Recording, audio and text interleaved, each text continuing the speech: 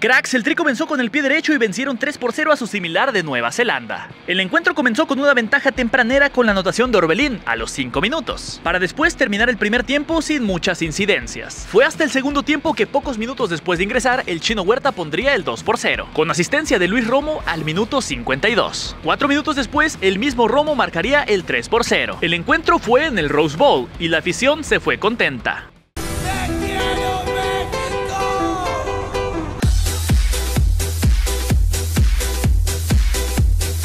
Hermanos, las críticas a Santi Jiménez regresaron. El delantero del Feyenoord volvió a la cancha con la camiseta de la selección mexicana y tristemente no marcó la diferencia. Hubo comentarios en el estadio, pero especialmente en redes sociales, pues muchos apuntan a que aporta muy poco al equipo. Diego Coca, Jaime Lozano y ahora Javier Aguirre y Santi Jiménez sigue sin demostrar lo que hace a nivel de clubes. ¿Ustedes qué piensan, cracks? ¿Creen que Santi se adaptará en algún momento?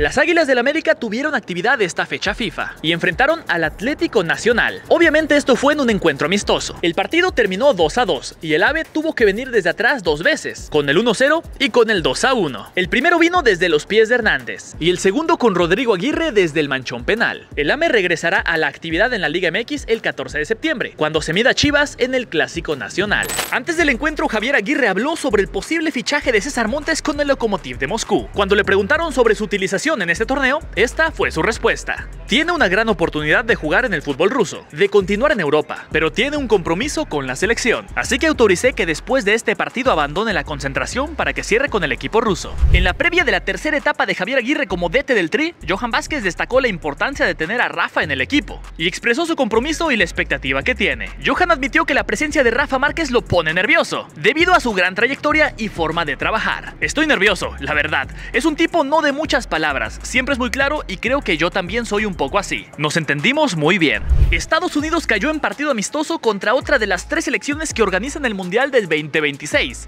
Te hablo de Canadá. El verdadero gigante de la CONCACAF se impuso 2 a 1 con goles de Jacob Schaffelburg y Jonathan David. El único gol de la tarde para las barras y las estrellas llegó gracias a Luca de la Torre. Cabe señalar que el equipo estadounidense cayó ante Canadá como local por primera vez desde 1957. Kate Cowell tuvo poca participación con la selección, ya que el jugador del rebaño entró al terreno al minuto 77, pero hizo muy poco ruido. Estados Unidos enfrentará a Nueva Zelanda este martes para cerrar su participación en esta fecha FIFA. La Fiera tiene nuevo director técnico. Los Panzas Verdes confirmaron la llegada de Eduardo Berizzo. El equipo estuvo buscando diversas alternativas, pero fue Berizzo el elegido para sacar al equipo de la terrible situación deportiva. Sin una sola victoria y con el próximo Mundial de Clubes donde León estará presente asomándose en el horizonte. Berizzo fue una de las principales opciones para Rayados, pero al final optaron por De Michelis. Por su parte, el DT argentino debutará como estratega en el torneo mexicano contra el mejor equipo del torneo, hasta ahora el Cruz Azul. El guardameta mexicano Alex Padilla está viviendo su mejor momento. Y además de estar viviendo su primer proceso como seleccionado mexicano, la liga nominó su atajada contra el Barcelona como una de las mejores del mes de agosto. La votación está abierta al público, así que ¿por qué no? Votemos por la de Padilla.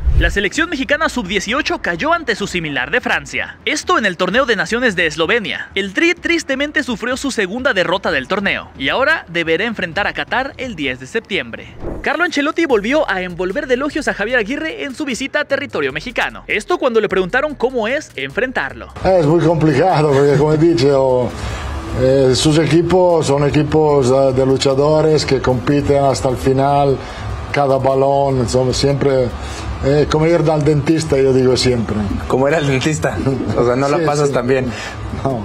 Eh, es capaz de sacar algo del jugador que no es solo el aspecto profesional, pero también es algo personal. Le deseo obviamente mucha suerte para el Mundial que juegan aquí en México en 2026 y creo que eh,